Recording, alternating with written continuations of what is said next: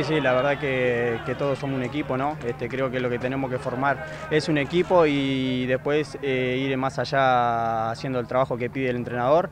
Pero la verdad que nos sentimos muy cómodos, eh, sea quien sea, eh, cualquier jugador se siente muy cómodo y hay que, hay que formar el equipo y ahí luchar para adelante.